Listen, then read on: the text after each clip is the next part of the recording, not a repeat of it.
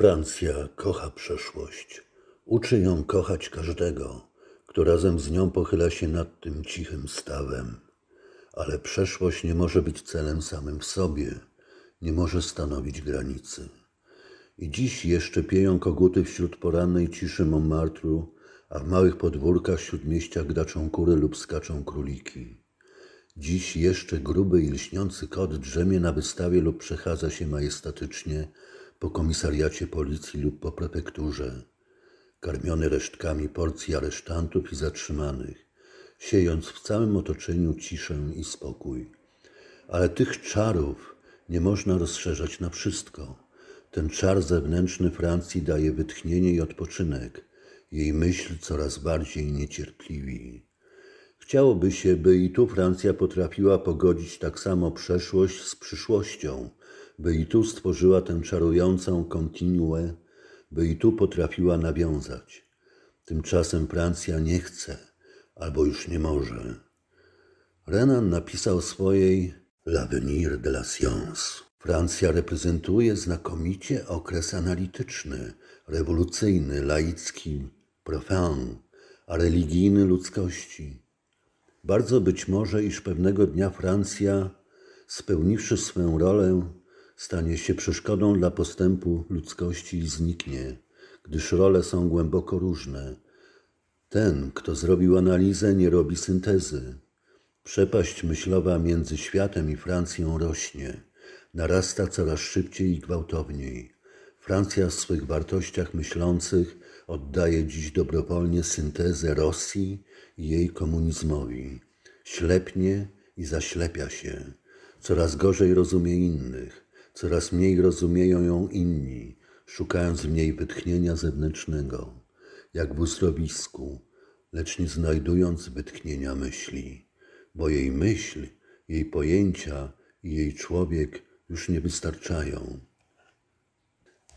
Coraz częściej myśl, duch i dusza rozbijają się tu o ślepy upór, o tę sławną niegdyś jasność, która dziś prowadzi do ciasnoty, Rozum nie może być duchem, bo rozum jest kurwą, a duch nie może być rozumem, chyba że się skurwi.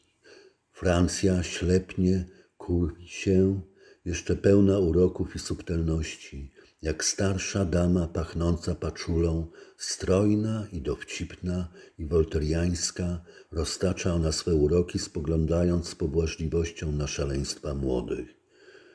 Może ma rację, Osobiście nie zgadzam się z nią. Wiem tylko, że chęć nagłego odmłodzenia się może tu doprowadzić do wielkich nieporozumień. Te nieporozumienia zaczęły się już teraz pod odmładzającymi rządami Petena i pod etykietką Empire Français.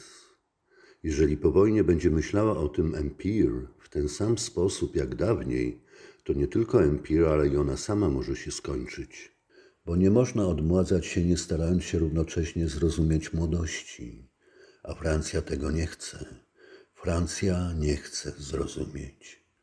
Jeszcze dziś grają tu głośne echa, mylą i czarują. Myśl skłonna jest przeskakiwać z ostateczności w ostateczność. Już dość dawno napisałem raz, że Francja jest przede wszystkim krajem złudzeń optycznych. Chyba miałem rację. Obraz, forma zewnętrzna zasłaniają tu zręcznie treść. Stąd ta trudność spokojnego sądu. Francja jeszcze ciągle wytrzymuje wzrok, ale coraz gorzej spojrzenie myśli. Komu wystarczy obraz?